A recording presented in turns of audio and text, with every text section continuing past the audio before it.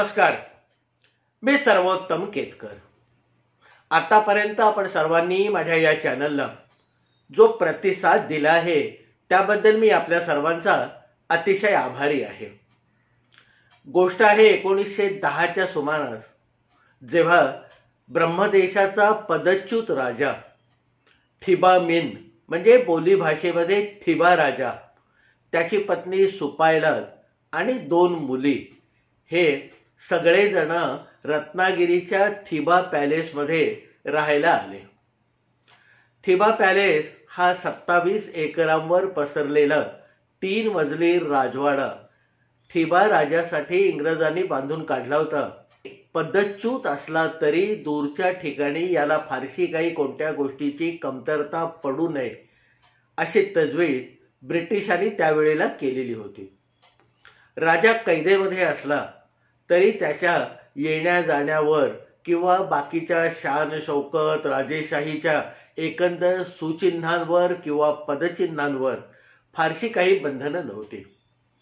थोड्याच दिवसामध्ये या थिबा राजाचं एक मोठं प्रस्थ रत्नागिरीमध्ये निर्माण झालं.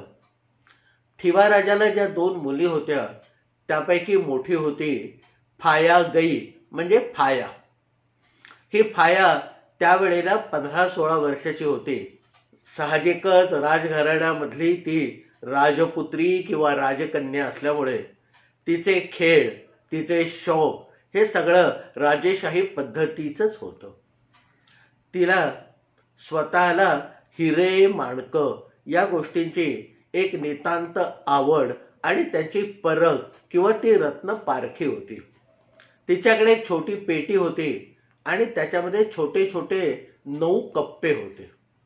या नऊ कप्प्यामध्ये तिने तिच्या पसंतीने निवडलेले आणि अतिशय मौल्यवान असे आठ हिरे ठेवलेले होते. राजकन्या असल्यामुळे ती या हिऱ्यांबरोबर एखादं लहान मूल आपल्या खेळण्यांबरोबर खेळतं तसंच ती या हिऱ्यांबरोबर खेळत असे. एक दिवस आपल्या भांडारातली सगळी हिरे माणकं काढून ही फाया खेळत असताना तिच्या मनामध्ये एक गोष्ट आली की आपल्याकडे ही जी पेटी आहे हिरे ठेवायची त्याच्यामध्ये नऊ कप्पे आहेत आणि आपल्याकडे आठ हिरे आहेत. तिला सहज वाटलं की आता या नवव्या कप्प्यामध्ये एक नववा हिरा ठेवावा. आणि म्हणून तिने आपल्या बाबाकडे म्हणजे थिबा राजाकडे एक आणखीन हिरा घेऊन देण्यासाठी हट्ट धरला. आता थिबा राजाला राजकन्येचा हा छोटासा हट्ट पुरवणं फारसं कठीण नव्हतं. आणि त्यामुळे त्याने आपल्या नोकरांकरवी सबंध रत्नागिरी आणि रत्नागिरी जिल्ह्यामध्ये जवळजवळ एक दौंडी पिटवली की माझ्या राजकन्येसाठी म्हणजे फाया गईसाठी एक चांगला हिरा घ्यायचा आहे. तेव्हा ज्या कोणाकडे चांगले हिरे असतील त्याने ते राजवाड्यावर म्हणजे थिवा पॅलेसवर घेऊन यावे आणि त्यांची निवड किंवा पारख ही फाया स्वतः करेल. ही दौंडी पिटल्या गेल्यानंतर आजूबाजूच्या सगळ्या जवाहिऱ्यामध्ये म्हणजे हिरे माणकांचा व्यापार करणाऱ्यामध्ये एक उत्साह संचारला आणि हळूहळू सगळ्यांनी त्या थिबा पॅलेसची वाट धरायला सुरुवात केली. येणारा प्रत्येक व्यापारी त्यावेळेला थिबा पॅलेसमध्ये जाऊन आपल्या नावाची नोंद करत असे आणि त्याला जशी फाया राजकन्याच्या भेटीची वेळ मिळत असे तेव्हा तो आपल्या जवळचे राजासाठी आणलेले अतिशय मौल्यवान हिरे घेऊन फायाची म्हणजे या राजकन्याची भेट घेत असे. राजकन्येसमोर हारीने त्याच्याकडे असणारे पाच सहा दहा दोन जेवढे हिरे असतील तेवढे मांडून ठेवले जात. ती फाया अतिशय बारकाईने प्रत्येक हिऱ्याचं निरीक्षण करत असे.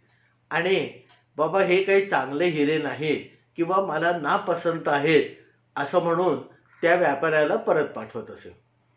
एक दोन पाच पन्नास असं करता करता बरेच व्यापारी त्यावेळेला देशाच्या वेगवेगळ्या काना कोपऱ्यातून रत्नागिरीमध्ये येऊन जमा झाले. बरं फाया सांगत असताना म्हणजे त्या जवाहिऱ्याला निरोप देत असताना असं सांगत असे की बाबा हे हिरे तुझे चांगले आहेत पण मला याच्यापेक्षा एखादा उच्च हिरा हवाय. आणि तो जर नाही मिळाला तर मग तुझे आता तुझे हे दाखवले आहेत त्यातला एखादा हिरा मी नक्की खरेदी करेन.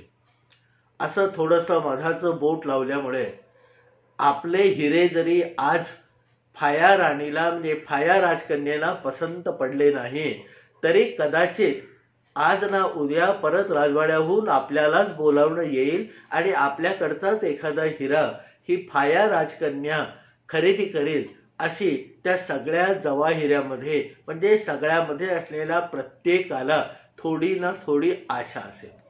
त्यामुळे भेट झाली.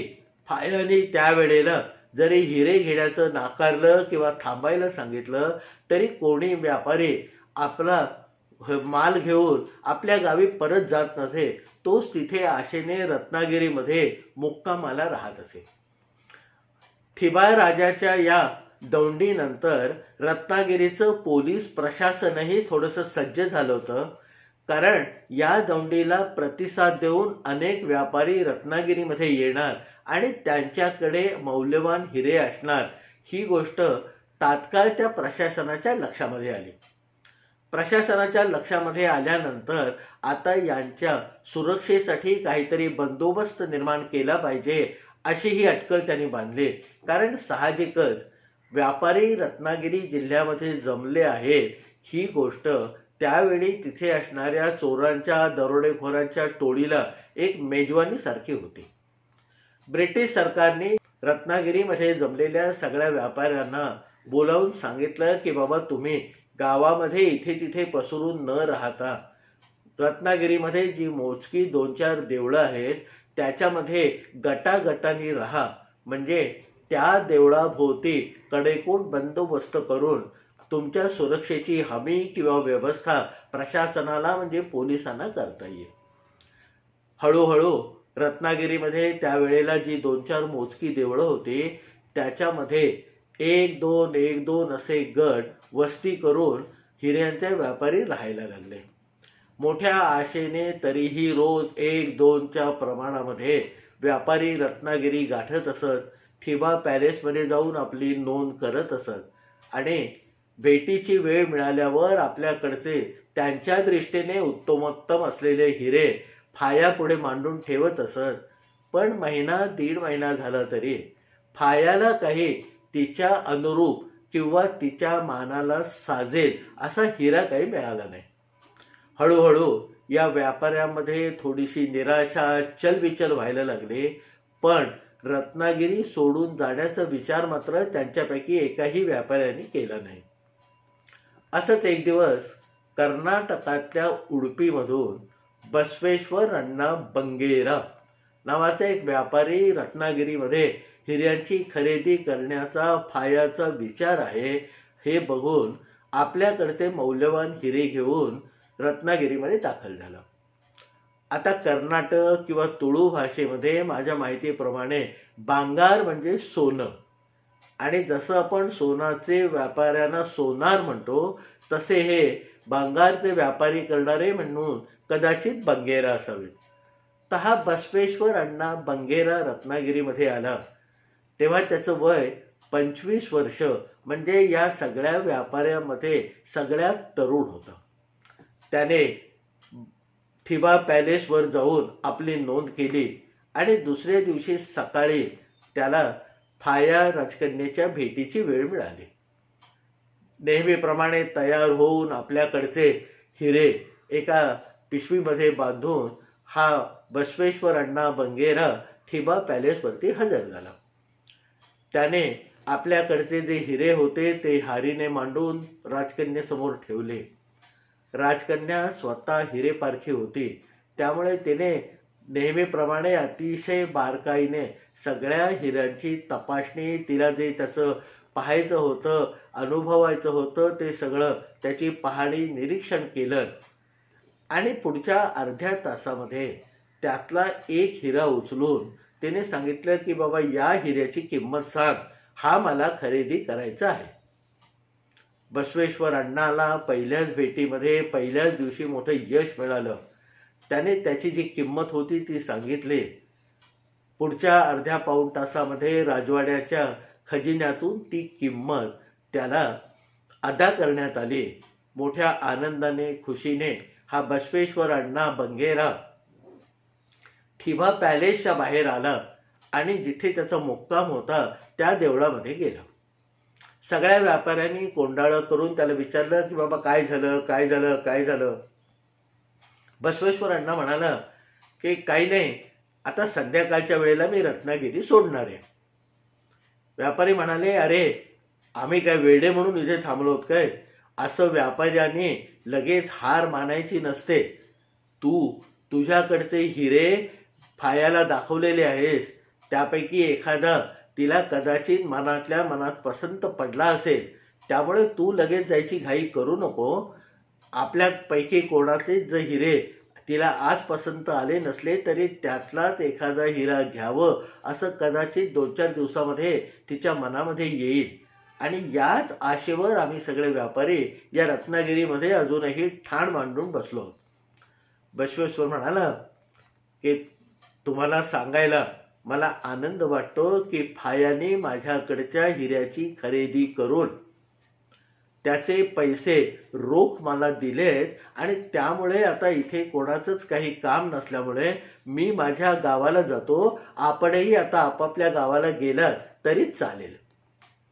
ही गोष्ट अतिशय धक्कादायक होती. आणि म्हणून सगळ्या व्यापाऱ्यांनी ही गोष्ट परत एकदा बसवेश्वर अण्णाकडनं वधवून घेते की बाबा खरोखरच तुझ्याकडचा हिरा या राजकन्यांनी खरेदी केलाय का?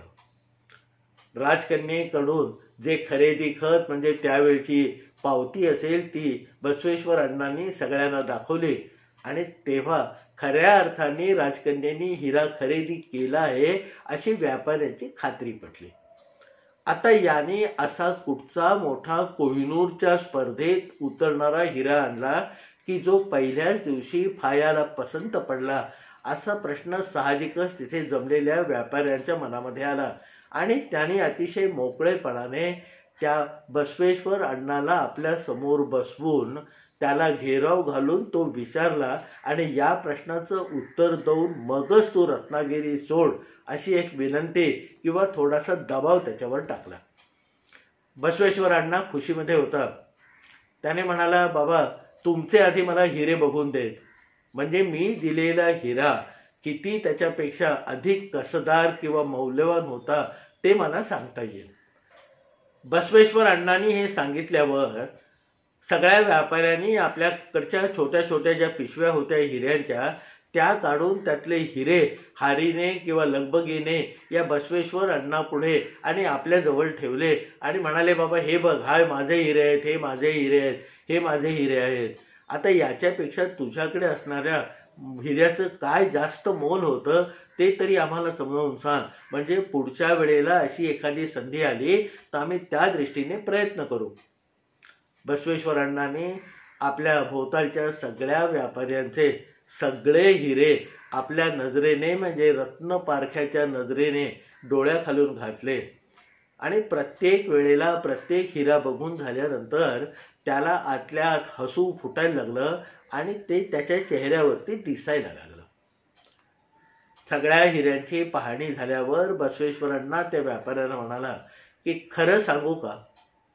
की मी दिलेला हिरा या तुमच्या हिऱ्यांच्या बरोबरीचा तोडीचा किंवा किमतीने आणि मोलाने याच्या जवळपासच होता. याच्यापेक्षा काही फार मोठ्या उच्च प्रतीचा हिरा मी फायाला आता विकून आलेला आहो असं नाहीये. मग हे तुला कसं जमलं? असा गल्ला किंवा कालवा त्या सगळ्या व्यापाऱ्याने त्या बसवेश्वर अण्णाच्या भोवती केला की बाबा आमच्या इतकाच मौल्यवान आमच्यासारखाच हिरा आहे पण आज फायाने तुझ्याकडनं तो खरेदी केला. त्याचं आता कारण आम्हाला सांग. बसवेश्वरांना म्हणाला की तुम्ही आणलेले हिरे अतिशय मौल्यवान आहेत. याबद्दल काही वाद नाही. याच्या आधीही कदाचित तुमच्यापैकीच एखादा हिरा त्या फायाने घेतला असता असं आजही मला ठामपणे वाटतं. फक्त एक व्यापारी म्हणून समोरच्या माणसाचं जे मन ओळखायचं असतं आपल्या ग्राहकाचं जे इंगित आपण जाणून घ्यायचं असतं ते जाणून घेण्यामध्ये आपण माझ्यापेक्षा वडील असलात वयाने मोठे असलात तरी कुठेतरी कमी पडलात असं मला वाटतं. म्हणे काय आहे? की फाया ही स्वतः रत्न पारखी आहे. ही गोष्ट मला माहीत आहे तशीच आपल्याला सगळ्यांनाही माहीत आहे. आणि तुम्ही आणलेले हिरे सगळे तोडीस तोड म्हणजे उन्नीस बीस उन्नीस बीस अशा फरकाचे आहेत. तुम्ही स्वतः रत्नपारखी आहात हे तुमच्यासमोर बसलेल्या फायालाही माहीत आहे.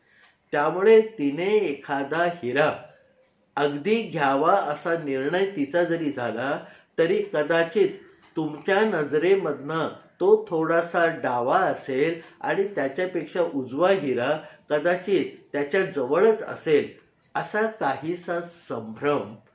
तुम्ही दाखवलेले सगळे हिरे बघितल्यानंतर फायाच्या मनामध्ये नक्की येत होता. त्यामुळे तुमच्यासमोर आपलं कौशल्य उणं पडू नये किंवा एखादा तुमच्या दृष्टीने असलेला कम असल हिरा तिने निवडला.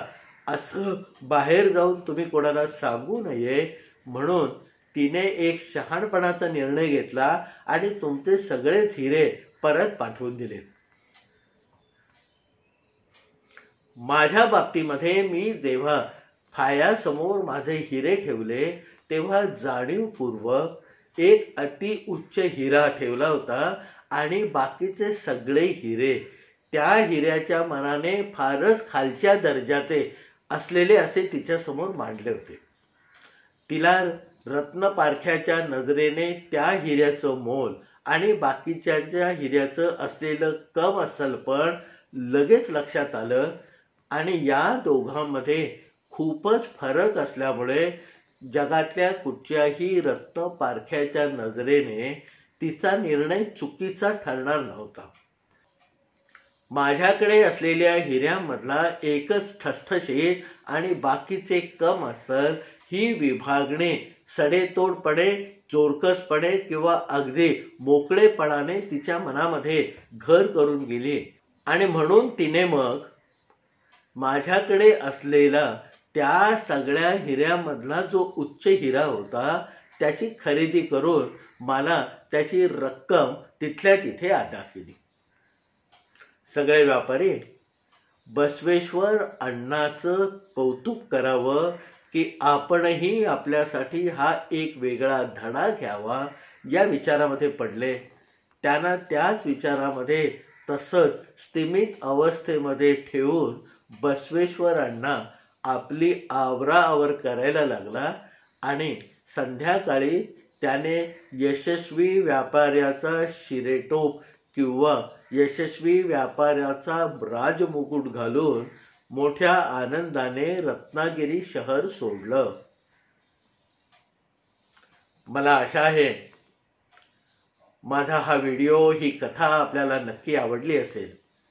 आपल्याला आवडलेला हा व्हिडिओ इतरांपर्यंत पाठवा आपल्या मित्रमैत्रिणींपर्यंत पोचवा अशी एक नम्र विनंती मी आपल्याला करतो.